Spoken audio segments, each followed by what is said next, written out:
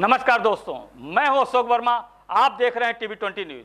TV twenty news पर खबरों का सिलसिला जारी है, बने रहिए हमारे साथ। आजमगढ़ के महाराजगंज क्षेत्र से खबर है, जहाँ कप्तानगंज थाना क्षेत्र के सेमरी तिवारी गाँव के एक पीड़िता ने अब न्याय की उम्मीद में एसपी दरबार पहुँची है क्योंकि घर में हुई लाखों की चोरी के मामले अभी तक स्थानीय पुलिस ने एफआईआर दर्ज नहीं की। बता दें कि चोरों का मनोबल उस वक्त और बढ़ जाता है जब न्याय पाने के लिए फरियादी को ऑफ़िस ऑफ़िस घूमना पड़े।